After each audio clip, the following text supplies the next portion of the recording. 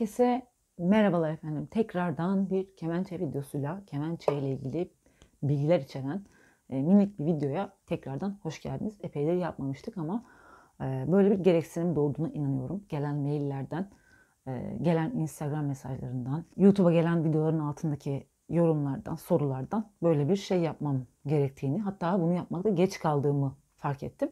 Yapıyorum olsun hiçbir şey için geç değildir diyorum. Kemençemizi nereden almalıyız e, isimli sorunsala bugün böyle bir cevap yapıyoruz. Minnacık bir cevap veriyoruz. E, inşallah bu da faydalı olur. Şimdi dediğim gibi bir sürü mailler, sorular haklı olarak insanlar soruyor. Kimisi ilk önce hocasını bulmaya çalışıyor. Kimi ilk önce kemençesini almaya çalışıyor.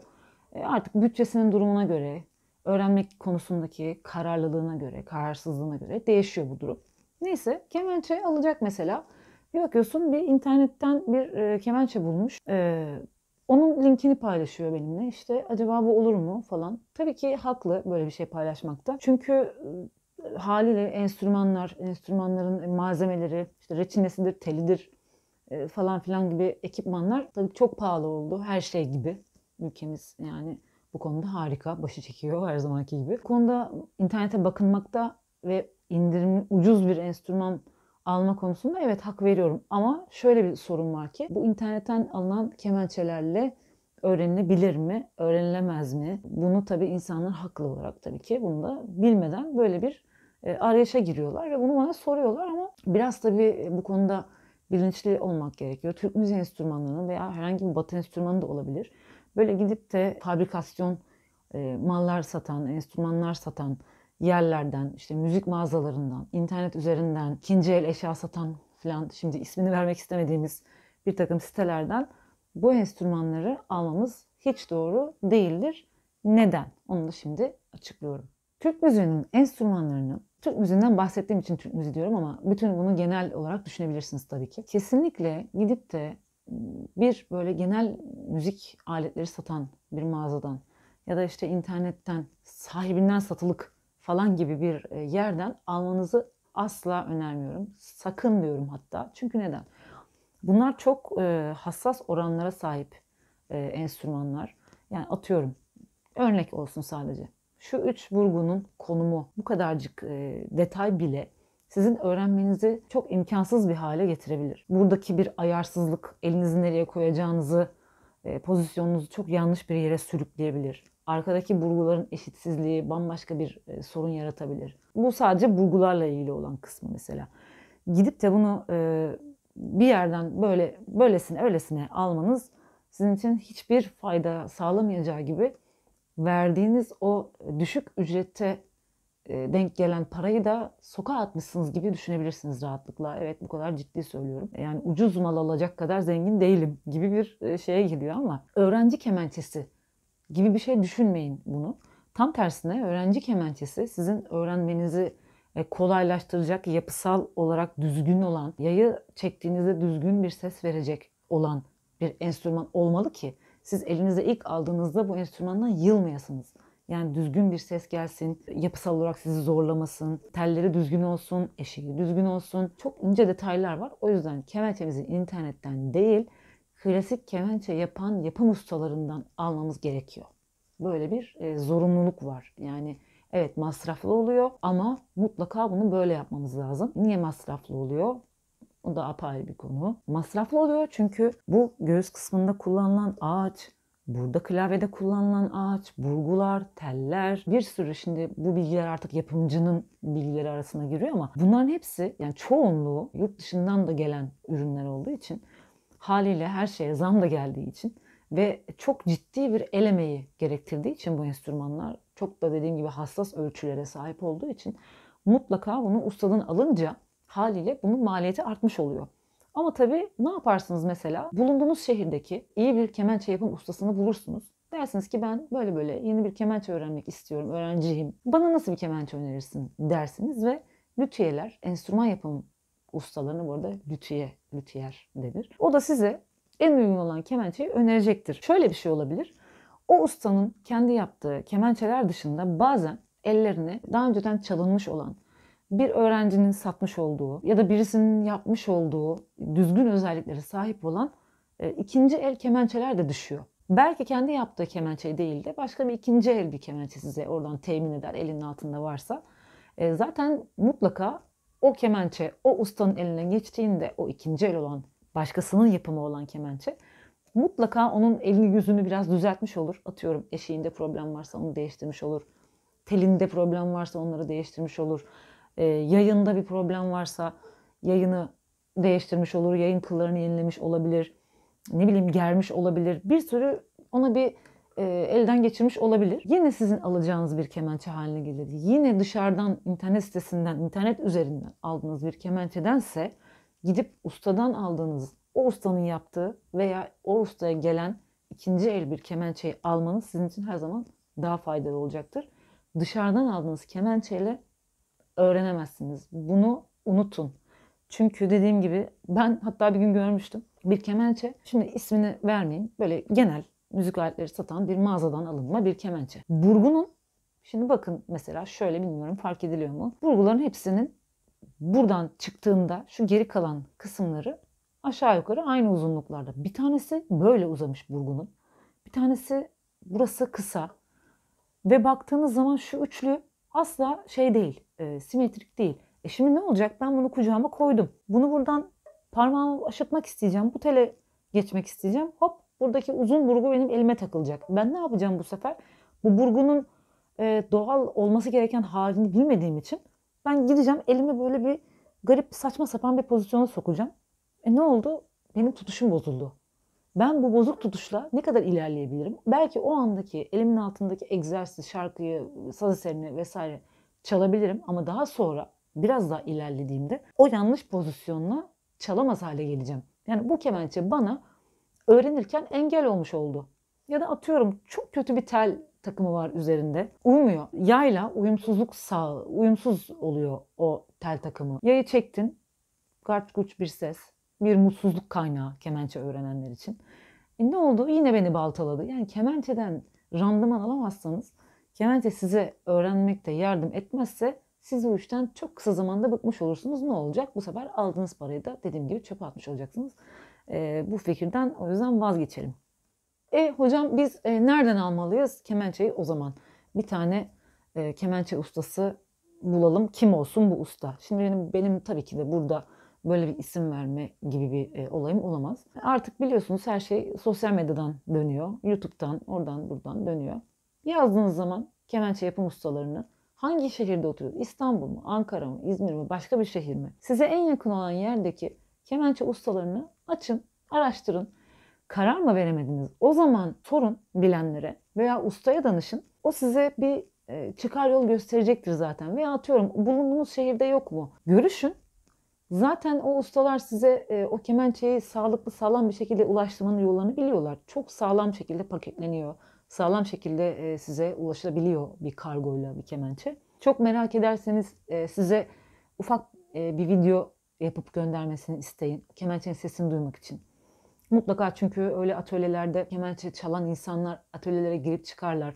Oradaki kemençeleri denerler. Mutlaka o e, yapımcının elinde bir örnek bir video vardır elindeki kemençelerle ilgili. E, size bunu göndermesini isteyin. O sesi dinleyin. İyi kemençe çalan insanların e, pozisyonlarına, kemençelerine biraz dikkat edin. Bakın bakalım nasıl tutuyor iyi çalan insan. Sonra yapımcının size gönderdiği videoya bakın. Bakın bakalım o ton sizin aradığınız kulağınıza yatan o e, sevdiğiniz tona yakın bir ton mu? Kemençenin yapısında, şu kısmında, bu kısmında gözünüze yine de bilmeseniz de bir tık böyle bir e, alıcı gözle baktığınız zaman bir e, fikir oluşur insanda. Baktığınızda uyuyor mu, uymuyor mu? Yine mi işin içinden çıkamıyorsunuz? İşte o zaman bir hocaya danışabilirsiniz. Ya bu kişi size ders vermesini istediğiniz insan da olabilir. Başka birisi de olabilir. Bambaşka insanlardan da fikir alabilirsiniz kemençe. İlla ki sizin seçtiğiniz hocadan da fikir alacaksınız diye bir konu yok. Mutlaka bir fikir alın. Sakın sakın gidip de körü körüne bir yerden ben bu kemençeyi edindim, ben bununla öğrenebilir miyim demeyin. O zaman hoca size ne diyecek? Bununla kesinlikle olmaz, bununla öğrenemezsin diyecek. Hoca kendisi de size ders vermek istemeyecektir. Çünkü olmayacak o kemençeyle. Üzerine şöyle de düşünebilirsiniz. Tamam ben bunu aldım. Ucuz bir yerden aldım. Şu an tamamen farazi konuşuyorum. İşte 5000 lira vereceğime 500 lira verdim. Ben bu kemençeyi aldım. Ben de ne yaparım o zaman? Bunu alırım. Bir tane yapım ustasına götürürüm. Bunu elden geçirttiririm demeyin. Çünkü o kemençeden e, kesinlikle hayır gelmiyor. Şimdi ne yapacak usta?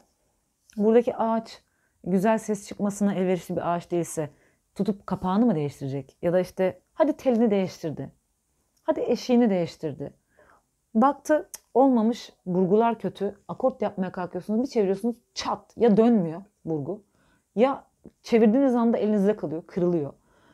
Yani bunları değiştirecek. Telleri değiştirecek. Göğsünü değiştirecek. Eşiğini değiştirecek. Bilmem. Fix takacak. Şuradaki görmüş olduğunuz akort yapmaya yarayan minnoş e, parça. Yani bir şeyler yapacak. E ne oldu? Yine size masraf çıktı. Kemençenin belki yapısı bozuk. Şöyle baktığınızda atıyorum şuradaki hafif bombe yok. Kemençenin boyu orantısız. Klavyesi orantısız. Ne bileyim yani baştan aşağı yapısını değiştirmesi gerekiyorsa. Yani şöyle düşünün bir ev aldınız. Ev harabe, yıkıntı. Siz diyorsunuz ki bana bunu yap baştan. E, masraf çıkmayacak mı? Çıkacak. E, böyle olacağını ki öyle olsa bile yine de istediğiniz şeyi elde edemeyeceksiniz. E, bari gidin ustasından alınan kemençeyi çalın diyorum ben. Şimdi merak edilen diğer konu ikinci el kemençe olur mu? Biraz önce söylemiştim. Olur. E, hatta çok da iyi olur bence. Biraz müzikle ilgili bir şeyler bilen, amatör kemençe öğrenmek isteyen bir insan olsam ikinci el kemençeyi daha çok tercih ederim. Niye? Çünkü bizim enstrümanlarımız çala çala sesi açılan, daha böyle volümlenen, güçlenen enstrümanlardır. Bir enstrüman ne kadar çok çalındıysa aslında değeri o kadar fazlalaşmış oluyor. Bakıldığında evet yani e, kendisinde bir takım böyle deformasyonlar olmuş olabilir. Atıyorum şurada bir çizik vardır. İşte şu bölgelerde çok çalındıysa buralarda ahşap olan kısımda bir kararma vardır, bir, şey vardır belki. Ama sesi de o oranda e, gürleşmiş, açılmıştır.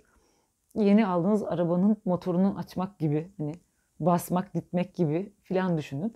Ne kadar çok çalındıysa o kadar aslında randıman alırsınız o enstrümandan. Bence tam tersi hiç e, çalınmamış bir enstrümandansa ikinci el olan bir kemençeyi tercih ederim. Ama tabii ki dediğim gibi yapımcıdan alınan bir ikinci el kemençeden bahsediyorum. Baktınız yazıyor. İkinci el kemençe bilmem ne işte kapak göğüs işte ladin arka bilmem ne işte ceviz selvi falan. Baktınız kemençe iyi de görünüyor. Bunu mutlaka bir ustaya danışın. Gönderin fotoğrafını ya da o satan kişiden bir video isteyin. Yani neden sattığını öğrenin ve o kemençenin kimin yapımı olduğunu sorun.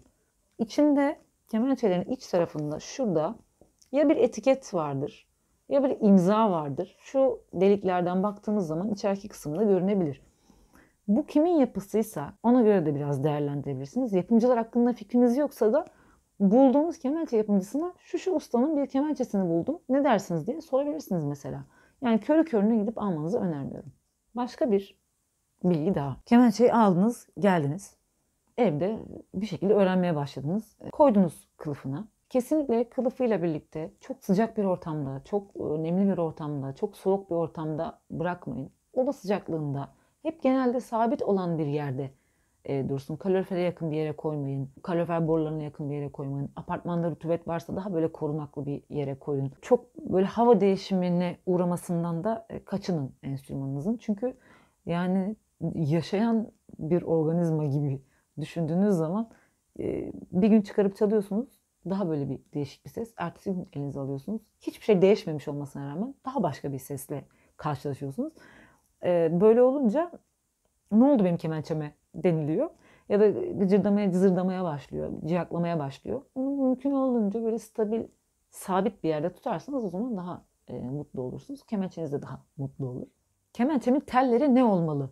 Şimdi bağırsak teller biliyorsunuz geleneksel olan e, şekilde bağırsak teller kullanılıyor. Şu iki tel sol ve re telimiz yani ras ve neva teliniz bağırsak olarak kullanılıyor. Bu yegah telinde de içi bağırsak dışı e, gümüş sarmalı olan tellerden kullanılıyor baktığınızda. Ama artık bağırsak telde tabii bulmak da çok zorlaşıyor bazen bulunmuyor. Ya da bulduğunuz çalması zor oluyor yeni başlayanlar için. Plastik raket tel dediğimiz iki teli kullanabilir. Orta tel ve neva teli için. Bunun içinde kemençe için üretilmiş olan metal teller var. Yegah tel içinde mesela bunu kullanabilirsiniz. Bunları kemençe yapımcılarınızdan temin edebilirsiniz. Üçüncü bir seçenek olarak da üç telin tamamını metal tel kullanmak gibi bir e, furya var son yıllarda. Bu da olabilir. Bu da tam bir çalım kolaylığı sağlıyor. E, ben biraz o tonu üçünün de metalik olan, yani metal tel olan e, hali metalik buluyorum. E, çok fazla tercih etmiyorum ama kötü değil bence. Kullanılabilir. Kullanan insanlar da tanıyorum. Onlar da çok memnunlar. Bir sorun çıkmıyor. İyi baktıkları zaman, temiz baktıkları zaman. Hatta çalım kolaylığı bile sağlıyor denebilir. Çünkü teller metal olduğu için tırnaklar üzerinde böyle yağ gibi kayıyor gibi düşünebilirsiniz. Bunu da tercih edebilirsiniz. Bunların en iyisini size yapımcınız zaten söyleyecektir.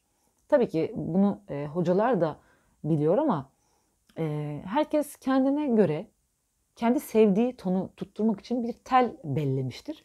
E, onunla gidiyordur. Size de hocanız bunu önerecektir ama belki de siz o tonu beğenmeyeceksiniz. Yapımcınız size bu seçeneği sunsun. E, o şekilde bir deneyin.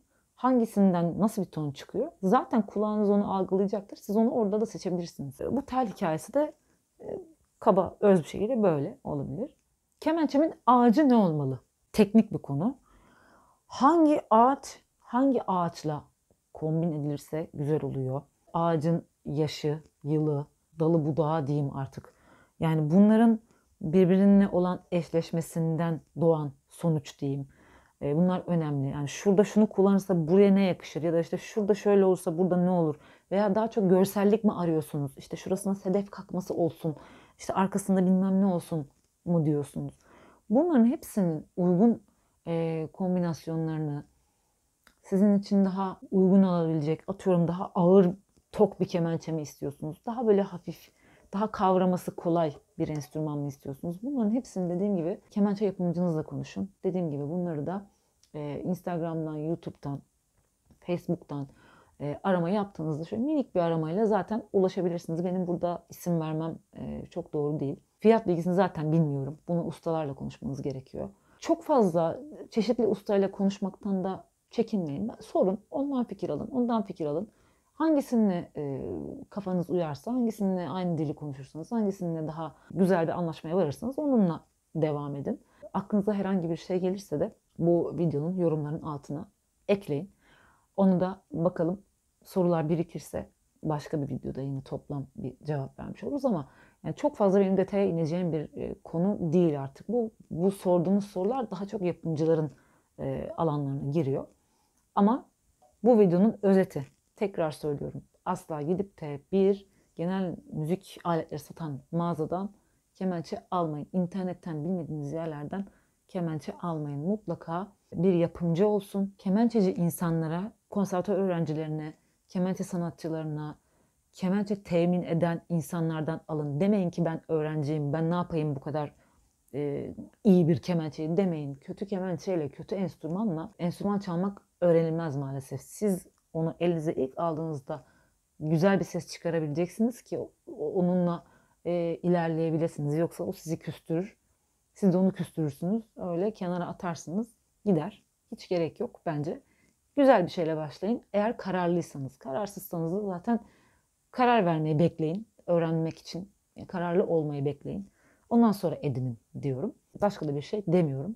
Bu videomuz da böyle olsun.